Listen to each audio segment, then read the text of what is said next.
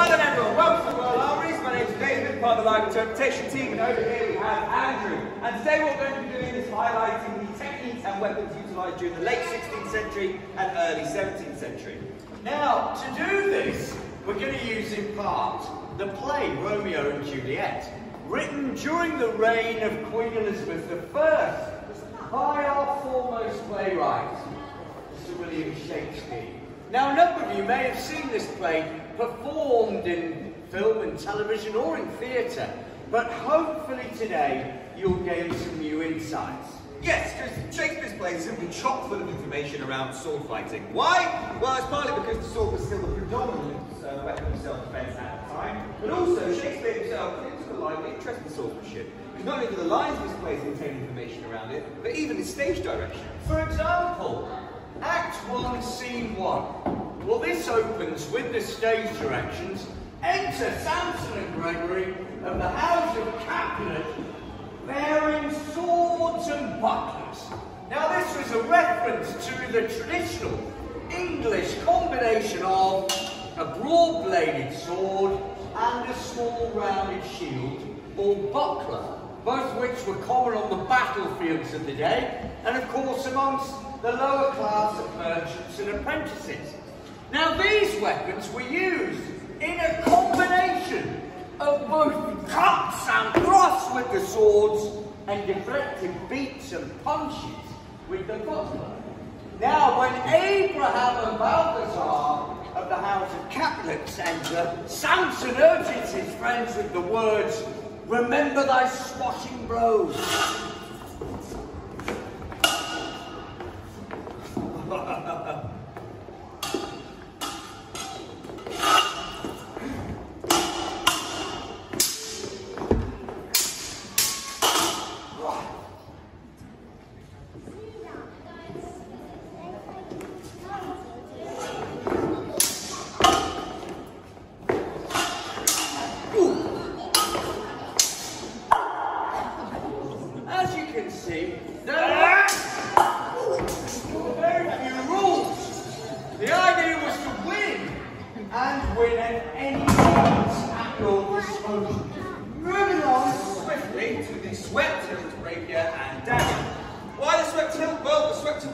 Typically when you're using a weapon like this, uh, you're not wearing any armour, so it's at hand, forearm, and wrist.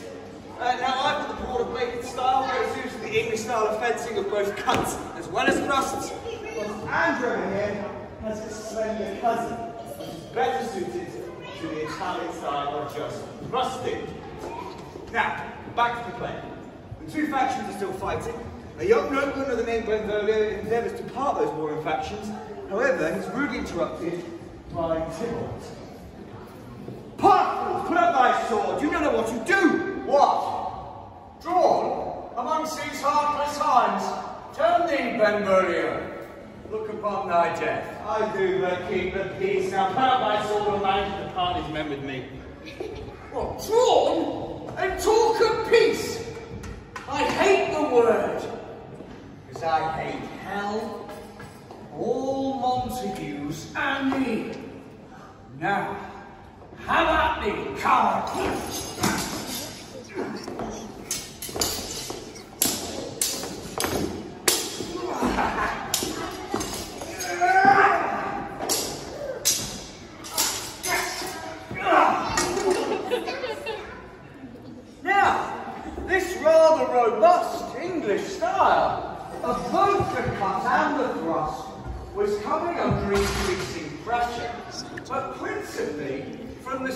Sword masters of Italy.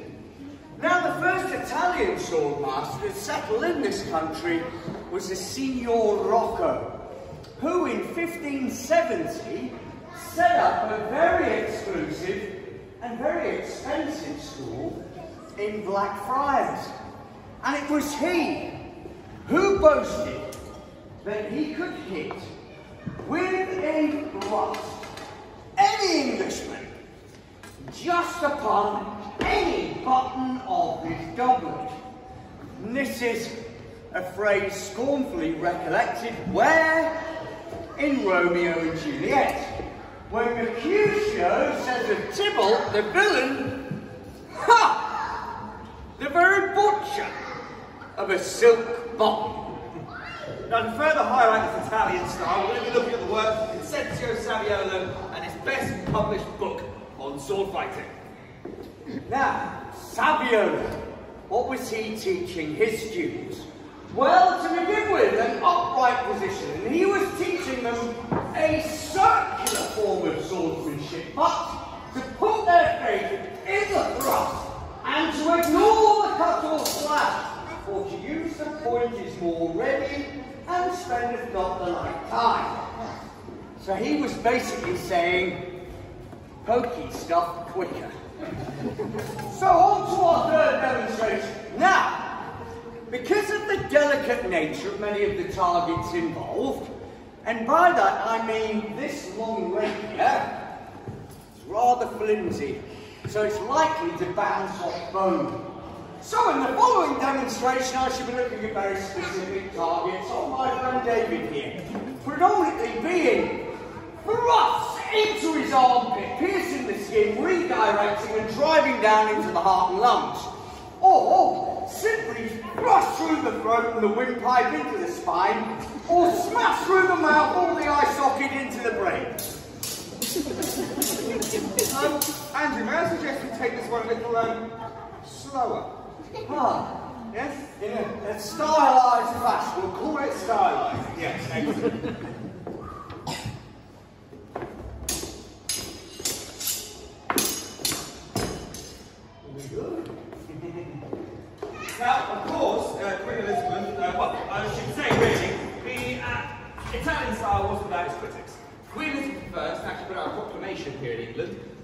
Grey citizens upon any city gate that allowed entry to London. Now, if you were a passenger at such a gate, and your rapier extended longer than a yard in length, then simply take the rapier, snap the tip off, thus to say to cut someone down to size.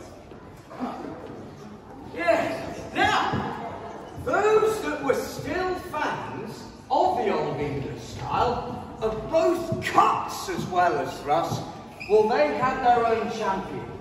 In an Englishman, thank the Lord, by the name of Mr. George Silver. Now, he published his practice in 1599, Paradoxes of Defence.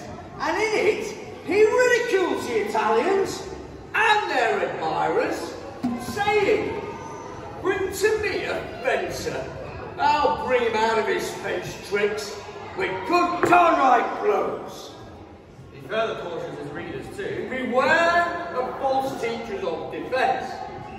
You see, Silver was above all a pragmatic man. He believed that his downright blows or cuts were as quick, if not quicker, than the Italian style's thrusts. Moreover, would deliver a far more disabling wound. And besides, he added, these days they teach no gripes, no closes, they teach no wrestling, no strikes to the hilt, oh, and no kicks or knees to the cot.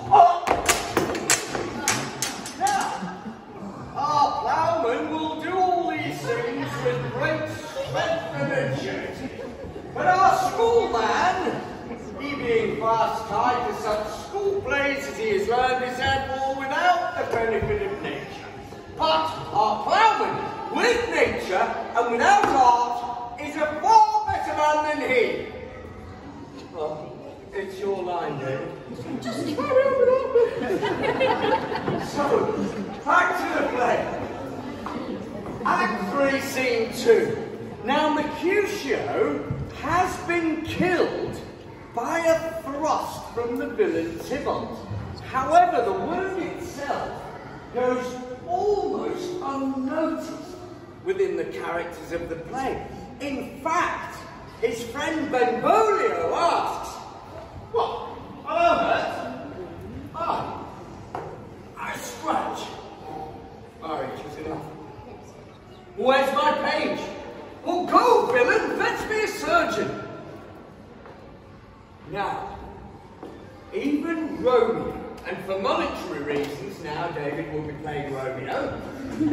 Romeo underestimates the severity of the wound, and he adds, Courage, man, the hurt cannot be much. Oh, not as deep as a well, or as wide as a church door, but but 'tis enough. 'Twill serve. Ask for me tomorrow, you shall find me a grave man. I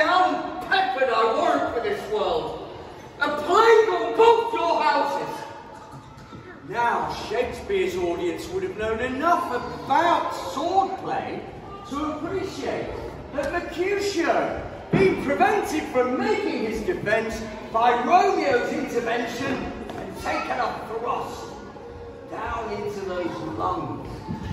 So he was basically saying his last few lines of text as his lungs simply filled with his own blood. So Mercutio, well, he probably drowned. Now, a survivor of such a conflict can owe their success or victory to more than just mere technique. And so to finish off our interpretation, we want to show you, well, what, we'll take up the scene shortly after the death of Mercutio, where Romeo is out in the streets seeking Tybalt with nothing but vengeance for his fallen friend on his mind. Now, we believe this is going to highlight what may have, or certainly did happen, according to Silver, when these two stars of fencing met not in the fencing schools, but on the streets themselves. Now, I'm going to be adopting as Romeo the English style of fencing, both cuts as well as thrusts. Whereas Tybalt will favour the far more fashionable Italian style of thrusting only. Alive and triumph of Mercutio's slain. Away every respected entity in their fire out fury my conduct now. Now, Tybalt, give back again the villain late thou gavest me. For Mercutio's soul lay writ away above our heads, waiting for thine to keep him company.